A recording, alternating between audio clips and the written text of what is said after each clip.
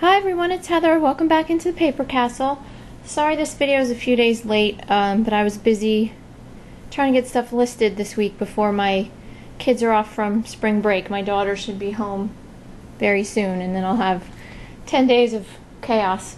Um, but I had a really, really, really good weekend, um, which was surprising since the season just started, but I really, really lucked out.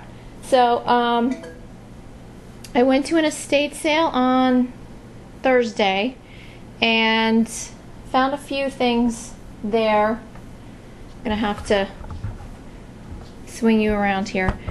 That right there is one of those um, accordion like um, sewing boxes. That's full of old sewing stuff. I picked that up for 20. Uh, needs a couple screws, but other than that, it's in really good shape. And I got I got one of these last year, but I kept it for myself. One of these art boxes that you can take your, you can put your canvases in here and take your stuff with you. Got that for five.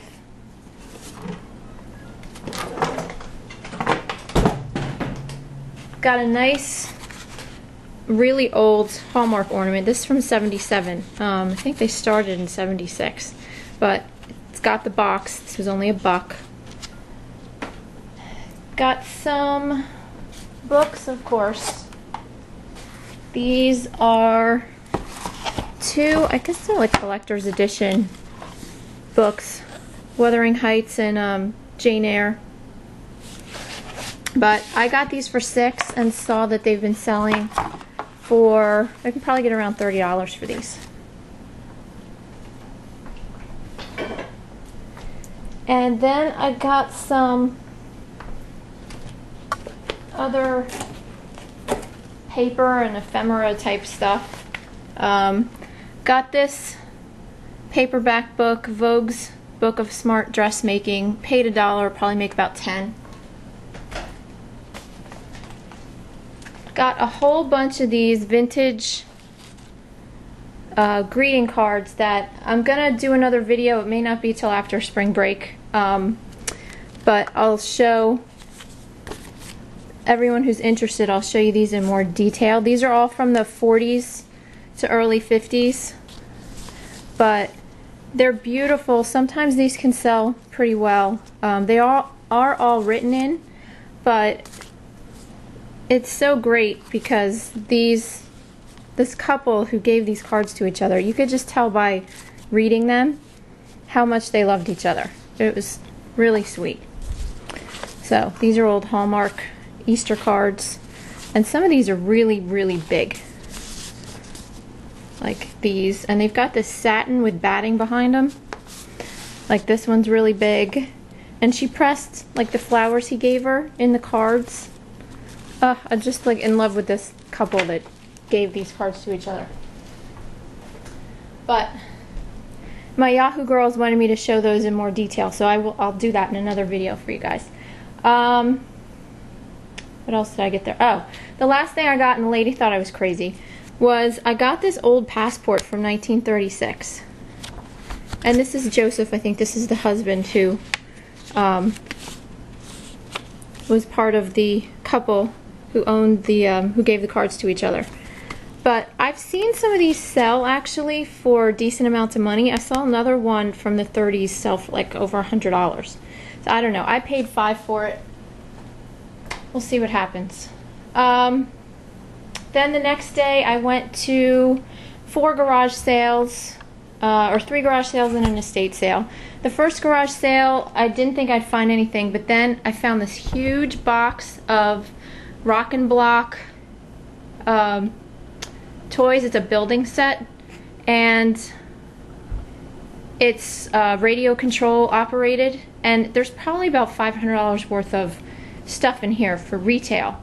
And I asked her how much she wanted and she told me 20 bucks. So I brought it home because I think I can make at least 100, maybe 200 off of that. And I can't show my son that I have that or he's going to want to like build it and keep it, but we have so much stuff in this house, we can't, don't have room for it. Um, Then the next sale I went to, got an old Bible. That was, you should charge me five for that, but hopefully I can make like 15 or 20. And um, the estate sale that I went to, all their stuff was pretty high priced, but I did find this gorgeous antique German Christmas card and it pops out like this. It's beautiful. And I paid five and the lady asked me where I got it from, the lady running the sale, and I said I dug through a box in the garage. And she's like, well, you're a good digger. She goes, do you know how much that could be worth? And I said, well, that's why I'm buying it. She's like, well, I'll give it to you for five, and you know I'm giving you a really good deal. I said, yeah, you are. Um, as another one, it was a little fancier than this, but just sold for, think, 112 on eBay. I'm not thinking I'll make close to that, but still, it's, it's a really good deal for $5. So, that's the word for the week, people. Dig. dig, dig, dig. When you go to an estate sale and you see things that are pricey, dig in the boxes in the garage or in the attic because sometimes you can find some really good stuff. Okay, finally, the last sale that I went to was a barn sale. They have it every year. All the proceeds go to charity. And I love this road. There are two barn sales on this road, and I've lucked out every year at both of them.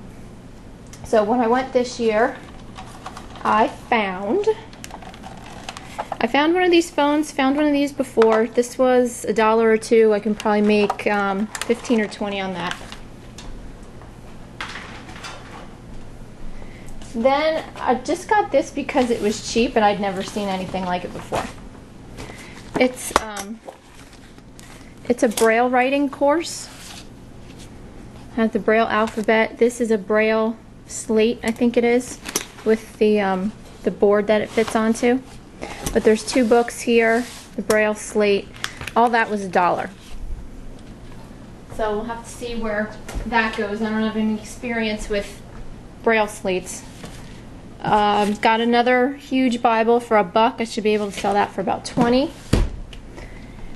And got a little Waterford ornament from 1989. This one's only worth about 20. If I'd have found the one from 1982, um, which is the first in the series, it would have been about 150 bucks. But I found this one worth 20, but I paid five, so I will make a profit. Um, the first thing I found there was a Hewlett Packard scientific calculator for $3. Does work, has the box, the case, the instructions, everything. So this is at least over a $100. Um, found another ornament. This is Daum, if anyone knows this company in France. Their stuff is um, very well known, very well made, and very expensive. And I got this little turtle dove ornament for five bucks. And on replacements.com, they're selling the same ornament with the box for $190. So, as you can see, I was jumping for joy by the time I got home and researched all this stuff. I mean, I researched some on my phone, but it was just a really good week. And then I found this, again, digging in a box. There's a box on top of it with BlackBerry accessories like cases and adapters and things that, you know, you can pay 99 cents for on eBay. And it said $3 for everything, BlackBerry charger case, etc. Well, under it in this box was a Sirius Stiletto 2 um, what is it, whatever this thing is, home and car satellite portable satellite radio. So anyway, this is probably 100 to 150 dollars with all the accessories, and that does power on and work. And then finally, I was checking out all the teacups and stuff. They had a table up front that said five dollars a piece, and usually they're not really worth too much. But I did manage to find three that were um, definitely worth the $5. This set is Christian Dior Renaissance pattern. This one's worth um, probably about $40. This one is hard to find in any information on. It's uh, a reproduction from the um, Metropolitan Museum of Art of this pattern by uh, Meissen and Haviland um, produced it. So I don't know, I'm hoping about $50 on that. And then finally this piece is from Raynaud Limoges. I'm sure I'm pronouncing that completely wrong. Um, I don't speak French. But anyway, this pattern I found out um, is very rare and sought after and just this cup and saucer on replacements.com they want $95 for it. So good good good good weekend. Now if I can just get all this stuff listed and I can make a bunch of money hopefully. So that's it. Um, hopefully I'm gonna come back with a couple of my craft videos because I haven't made those in a long time and that's what this channel originally was supposed to be. So for all my crafty girls um, look for another video from me. So thanks everyone for watching. Have a great holiday and I'll talk to you soon.